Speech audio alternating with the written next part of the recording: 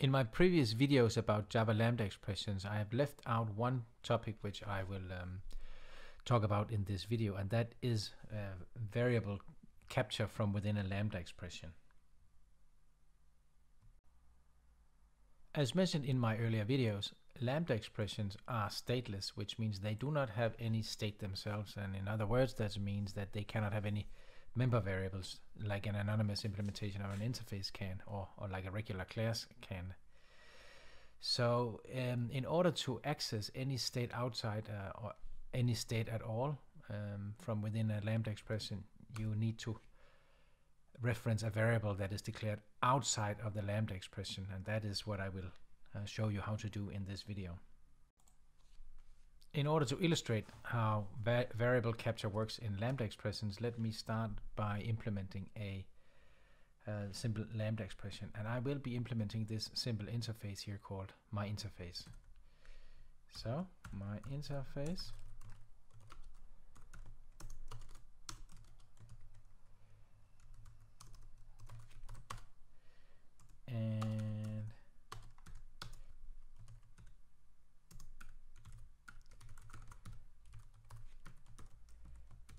Here you go. Here's a simple Lambda expression implementing the my interface interface. As you can see, there are no um, member variables in this Lambda, but if I declare a variable out here, then you will see that it can be accessed from within the um, from within the Lambda. I look at this, I can instead of just printing out the text that is given as parameter to the lambda, I can um, concatenate the text that is given as parameter with the text which is declared up here. The only way this is possible is if this variable out here is effectively final. That means that it does not change its value after it has been set the first time. Now look what happens here if I try to change the check the value of uh, the variable down here. Look at that. Now the compiler complains up here that the variable used in the lambda expression should be final or effectively final. So that is the rule. You cannot change the value of the variable. You do not have to declare it final but it has to be effectively final. It can be a good idea to declare it final because this is more clear that you should not change it because you are using it within a lambda expression.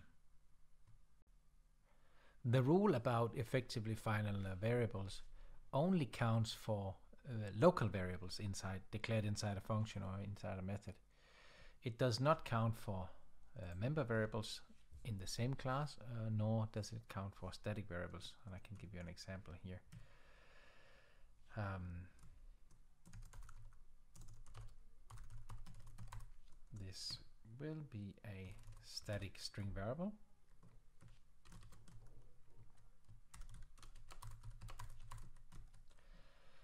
Like that and then look at this.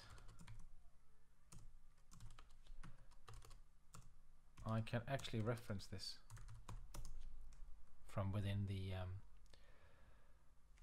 the lambda expression. And look at this I'm actually allowed I'm actually allowed to change the value of the static variable after the um, after it has been referenced from the within the um, the lambda expression. And in case I call here the lambda expression then you can see. Then we can see what value will be printed whether it's the first the updated value and you can see that it is actually the updated value that is getting printed. So even though the static variable starts with this value up here and uh, has that value at the time the uh, lambda expression is, is declared or created, because the static variable changes its value before the uh, lambda expression is called, the, then the it is the changed value that is print it out. Let's try here one more time to print it out before we change the value and see what happens. And now you can see it prints the hey a, a third text, which is the first value. It it is that is what it prints out here and after the value is changed it prints out the new value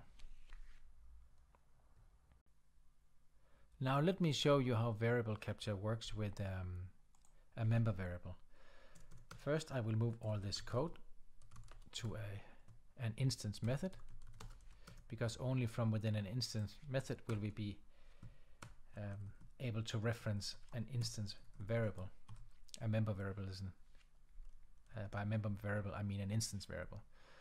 So first of all, I move all this code inside uh, an instance method. Then I create uh, an instance variable here called fourth text. And now you see in here that I instead of referencing you can see it's still possible to reference the static um, variable third text here but I will just replace it with a re reference to fourth text. Now you can see this is perfectly possible. And uh, we will try the same again. Here, first call the lambda with a value, change the value of this fourth text, which is referenced here, and then print it out again, like call the lambda again and see what it prints out.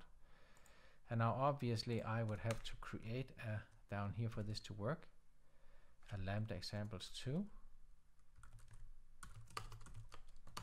like that and then call the oh seems IntelliJ got a little bit too intelligent there and then we see what happens right? And as you can see just like we expected first the lambda prints the first value of the uh, member variable here that it has from the beginning and then that's done when we call print it here. And then down here in we change the value to blah blah blah and then we call print it again and then you can see it changes or it prints out the the changed value. So to sum it up Java Lambda expression can reference uh, variables declared outside of the Lambda expressions. Uh, and if it references a local variable the local variable has to be effectively final or actually final. If it uh, references a, um, a member variable as it's doing in this case here uh, it doesn't the member variable does not have to be final and it can also see changes to the variable. And the same is true for static variables. They can be referenced from within um, a, a lambda and the value can also uh, change and the lambda will detect or see any changes to the um, to the static variable